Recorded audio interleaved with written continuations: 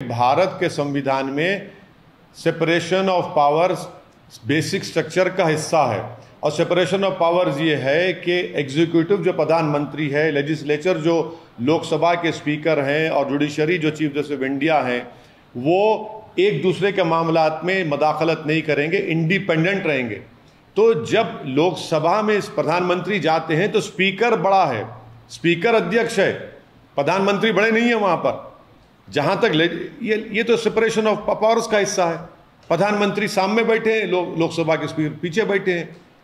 और अगर आप कॉन्स्टिट्यूशनल एक्सपर्ट्स को पूछेंगे तो वो वो जो अशोक चक्र है जो उसके में चार जानवर हैं एक घोड़ा है एक हाथी है एक एक उसमें बिल आ, बुल है और एक लायन है। वो क्या बताता है कि ये भारत के संविधान का जो प्रियम्बल है लिबर्टी इक्वालिटी फेटर्निटी जस्टिस को बताता है। प्रधानमंत्री उसको क्यों बोल रहे हैं? और ये तो उस जगह पर मिला था ना पचा जहाँ पर पचास फीट का एक आ, पिलर है जहाँ पर गौतम बुद्ध ने अपना पहला सरमन दिया था।